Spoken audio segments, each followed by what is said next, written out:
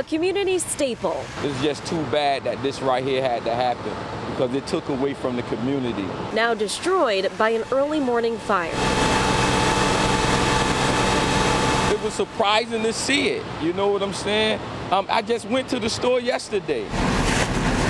It's known as Sigourney Market, and it's been around for decades. Above, there are vacant apartments, but below is a grocery store nourishing the neighborhood. We offer a little bit of everything. We have meats, grocery, frozen food, fresh produce, um, candy, whatever you can think of. Hartford firefighters got the call around 3 a.m., but they responded to the scene within four minutes. But it was those hot spots coming out of the structure that kept them here for hours, trying to put them out. It was a really stubborn fire due, due to the fact that it had a metal roof and the metal roof kind of holds a lot of hot spots. It sent two firefighters to the hospital with minor injuries, but they're expected to be okay.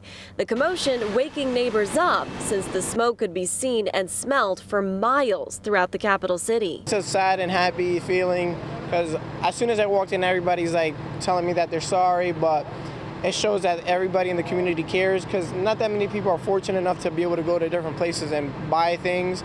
This was the place, and though it may be the end of the building, it might not be the end for this family owned market. It's a closed door, but you know what they say a closed door opens a new one down the line.